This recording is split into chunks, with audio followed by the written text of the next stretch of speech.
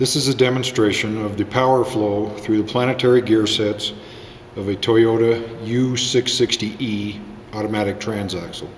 This transaxle is found in uh, 2007 and later uh, Toyota Camrys and Lexus uh, ES350s uh, with the V6 engine. Uh, this uh, transaxle is unique in that, in that it uses the Ravigneaux gear set with the long and short pinions which I describe in a separate uh, video. We have power from the torque converter from the engine connected to our input shaft. This input shaft goes all the way to the back of the trans, clear back here, and connects to this housing right here. So as I turn this housing, the input shaft also turns. Uh, inside of this uh, housing, the direct uh, multiple clutch housing, is the uh, C1 clutch and the C2 clutch. These are clutches that are going to be rotating and turning uh, parts of the planetary gear set. We have the F1 roller clutch that only rotates in one direction. We have the B2 brake, the B3 brake, and the B1 brake. These are uh, clutch packs that when they come on, they stop these components from rotating, but only one, uh, one or two at a time, depending on which gear we're in. The output to the final drive, there's a big drive gear that we had to press off of this to get it apart but it meshes with the final drive uh, idler and, and, final drive uh, uh, ring gear to propel the vehicle down the road. So our power comes in from the engine. Anytime this spline shaft right here turns, the vehicle is going to be moving. And so what I want to do is walk you through the different um, six different uh, gears forward and reverse uh, to see how all those are accomplished uh, using the different clutches. Uh, and uh, roller clutches.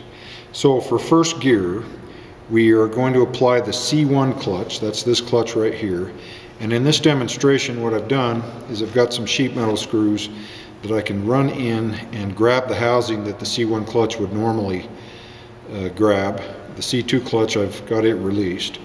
So I've connected the C1 clutch housing, which is underneath this housing, to this housing that's connected to the input. So we're going to turn the C1 clutch and in first gear we are going to have the F1 roller clutch, this one right here. It's, it's held solid by the case. These big lugs are just splined right to the case. So let's see, the engine is going to be turning clockwise uh, in relation to my demonstration. So I'll, I'll, hold the F1 clutch and I will turn the uh, C1 clutch and what that should give us is a gear ratio of 3.3 to 1. So we'll have to turn this housing 3.3 turns to get one full turn of this output. So let's, let's give it a shot. So here we go. We've got one, two, and three. Three turns of the engine gives us one turn of the output to drive the drive the wheels.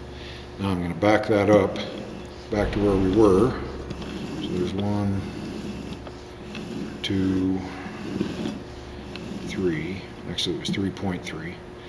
Um, now, to shift the second gear, we're going to keep the C1 clutch applied, but now uh, we're going to apply the B1 brake. This is the B1 brake uh, housing right here. So we're going to grab that and stop it from spinning. And we'll still turn the C1 clutch. Now this will give us a gear ratio of 1.9 to 1. So we should turn this C1 clutch 1.9 turns to get one turn of the output shaft. Here we go. So there's one and not quite two. 1.9 turns from the engine to get one turn of the output to drive the wheels. Me back those up. So that was second gear.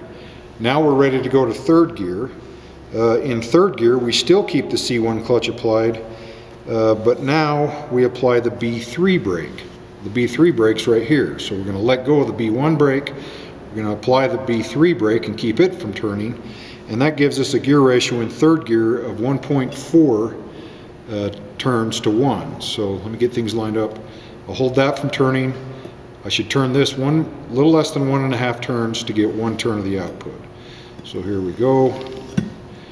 There's one turn and a little less than one and a half turns, and we've got 1.4 to 1 uh, gear reduction. So that was third gear. Uh, fourth gear is direct drive on this transaxle, uh, where we have one turn of the input gives us one turn of the output. And to get that, we're going to apply both the C1, which is already on, and the C2 clutch. So I'll run my little sheet metal screw in to turn the C2 clutch. So we're just going to turn these two pieces. One of them turns the sun gear, one of them turns the uh, ring gear. And I'm going to let go of all the brakes. No brakes are applied. And now we just have one turn in equals one turn out. That's direct drive a one-to-one -one, uh, gear ratio. Now to shift the fifth gear, we're going to let go of the C1 clutch. So I'll back this little screw out for my demonstration uh, so that we're just applying the C2 clutch now. Uh, and we're also going to apply the B3 brake, which is this one. So I'll stop the B3 brake from spinning, we'll turn the C2 clutch, and in fifth gear, it's a 0.713 to 1 gear ratio. So we'll turn this housing about 0.7 turns, 7 tenths of a turn, to get one turn of the output. This is overdrive. So here we go.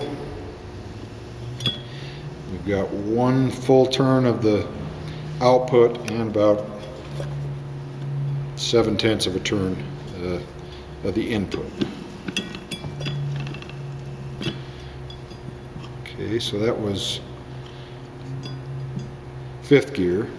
Uh, to go to sixth gear, we're going to keep the C2 clutch applied, and now we're going to apply the B1 brake, which is this brake right here, and that should give us 0.6 turns of the input to one turn uh, of the output. So here we go, 0.6, yeah, it's really spinning fast. Got about 6 tenths of a turn of the input to one full turn of the output. That's our uh, sixth gear, which is a double uh, overdrive. So let's go back to where we began. Pretty much got all the uh, labels lined up. Now let's let's go to reverse.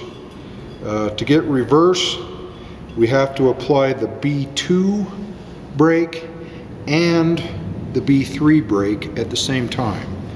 So we're going to stop both of those from rotating and then uh, we'll turn the uh, the input shaft from the engine. And since we're going to be turning it clockwise we're going to expect the output shaft to turn uh, counterclockwise. So we'll try to stop both of those from turning. I'll turn the engine. Notice that we're spinning backwards. And in this reverse it, it actually is a really low gear ratio. It's a 4.18 to 1 so it would take four turns of the engine to get one turn of the output uh, in reverse. Uh, this has been a demonstration of the U660E uh, power flow uh, through its gear sets.